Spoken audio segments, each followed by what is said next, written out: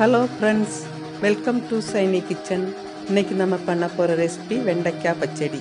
இதை எப்படி செய்கிறதுன்னு பார்க்கலாம். இதுக்கு முதல்ல ஒரு கடாயில் கொஞ்சமாக எண்ணெயை ஊற்றி எண்ணெய் சூடானதும் பொடியாக கட் பண்ணி வச்சுருக்கிற வெண்டைக்காவை போட்டு வதக்கிடலாம்.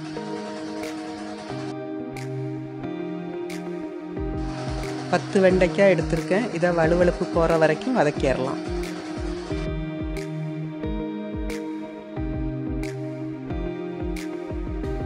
அடுத்து ஒரு கடாயில் எண்ணெயை ஊற்றி எண்ணெய் சூடானதும் ஒரு டீஸ்பூன் கடுகு உளுந்தம்பருப்பு போட்டு கடுகு பொரிஞ்சதும் கருவேப்பிலை சேர்த்துடலாம்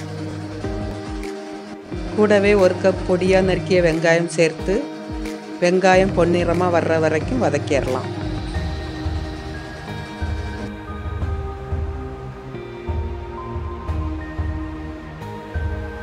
அடுத்து ஒரு கப் பொடியாக நறுக்கிய தக்காளி சேர்த்து தக்காளி மசீர வரைக்கும் வதக்கிடலாம்.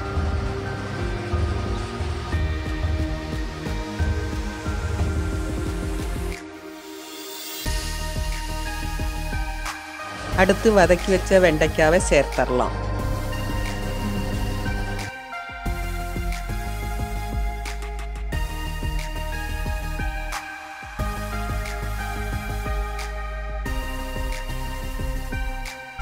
அடுத்த அரை டீஸ்பூன் மஞ்சத்தூள்.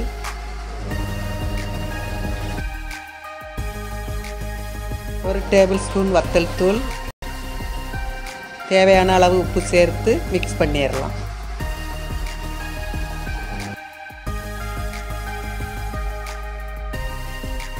ஒரு நெல்லிக்காய் அளவு புளித்தண்ணி ஊற்றி ஒரு ரெண்டு நிமிஷம் வேக வச்சிடலாம்.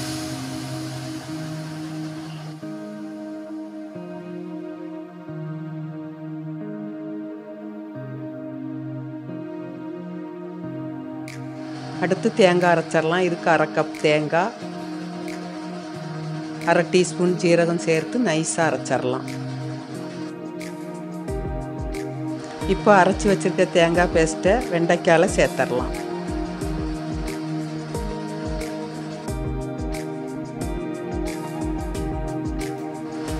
நல்லா மிக்ஸ் பண்ணி ரெண்டு நிமிஷம் ஆனதும் இறக்கிடலாம்.